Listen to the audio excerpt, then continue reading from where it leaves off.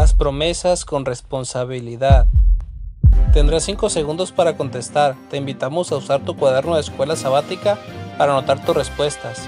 Supera el reto de esta semana. Bendiciones. ¿Cuál es el significado de la palabra promesa? A. Imposición para comprometer a alguien. B. Negación de un deber. C. Ofrecimiento solemne que hace una persona de cumplir con rectitud y fidelidad un determinado deber.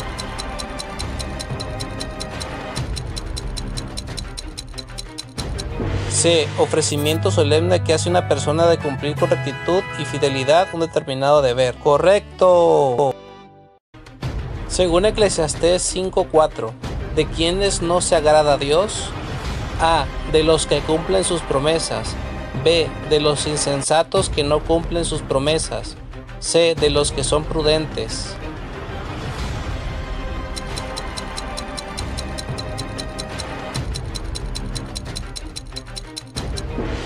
B. De los insensatos que no cumplen sus promesas. Correcto. ¿Cómo considera lo que prometió Jepté?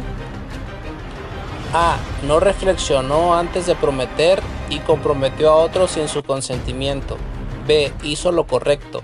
C. Ya lo había reflexionado y sabía lo que pasaría.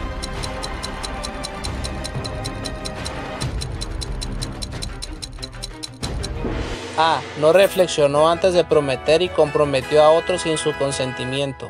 Correcto. ¿Cuál fue la promesa que realizó Ana a Dios?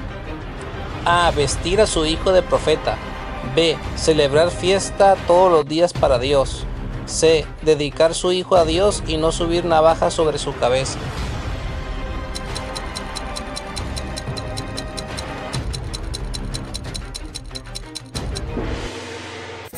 Dedicar su hijo a Dios y no subir navaja sobre su cabeza. Correcto. Si tardamos en cumplir nuestras promesas, ¿estaríamos en pecado? A. Sí, debemos pagar a tiempo nuestras promesas. B. No, no hay problema. C. No, no es pecado aunque lo diga la Biblia.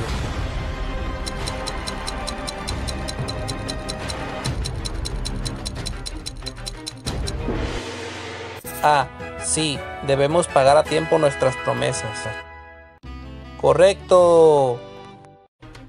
¿Por qué razón muere Ananías y su esposa Zafira? A. Por andar en buenos caminos. B. Cometieron fraude contra Dios y no cumplieron su promesa. C. Fueron verdaderos.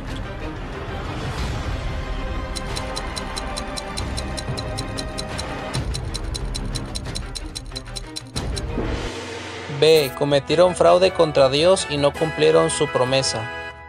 Correcto. ¿Qué promesa tiene Dios para nosotros según Isaías 41:10? A. Ninguna promesa. B. Que Él no nos ayuda. C. Que Él nos ayudará.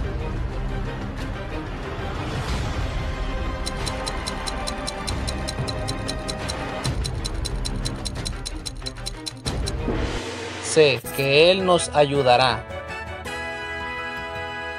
Correcto. ¿Podríamos retractarnos de las promesas que hacemos con nuestro prójimo? A. Todo es perfectible, aún las promesas. B. No debemos retractarnos sino cumplir. C. Sí podemos y no pasa nada.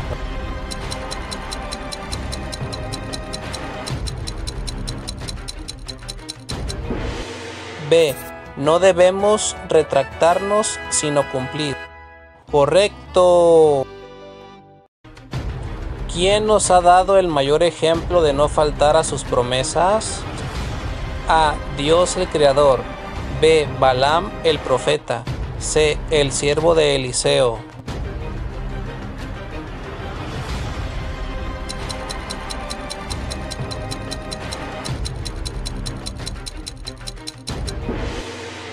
A. Dios el Creador. Correcto. Si cumplimos con la voluntad de Dios, ¿cuál es la mayor promesa que tiene para nosotros? A. Reencarnar. B. La eterna juventud. C. La vida eterna.